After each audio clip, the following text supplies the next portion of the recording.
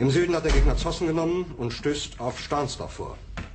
Der Feind operiert jetzt am nördlichen Stadtrand zwischen Frohnau und Pankow und im Osten ist der Feind bis zur Linie Lichtenberg-Marsdorf-Karlshorst gelangt.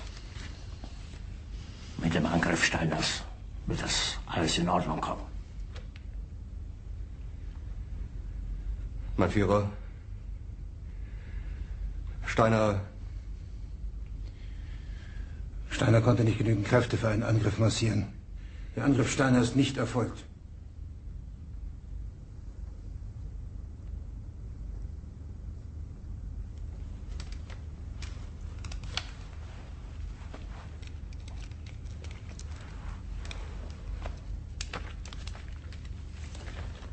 Es bleiben im Raum Keitel, Jodl, Krebs und Burgdorf.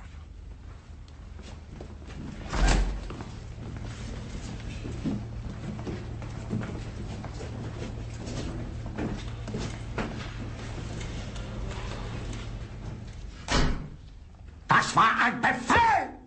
Der Angriff Steiners war ein Befehl! Wer sind Sie? Dass Sie es wagen, sich mein Befehl zu widersetzen! So weit ist das also gekommen.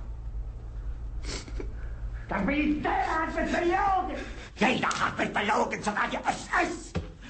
Die gesamte Generalität ist als ein Haufen niederträchtiger, treuloser Feiglinge! Mein Führer, ich kann nicht zulassen, dass die Soldaten, die für Sie verbringen... Nicht als Feiglinge! Verreiter, Versager! Mein Führer, was Sie da sagen, ist ungeheuerlich. Die Generalität ist das Geschmeiß des deutschen Volkes!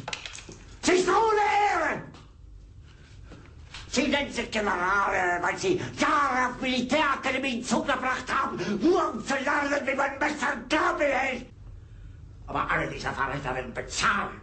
Mit ihrem eigenen Blut werden sie bezahlen. Sie werden es saufen in ihrem eigenen Blut. Bitte gerne. Jetzt beruhig dich doch.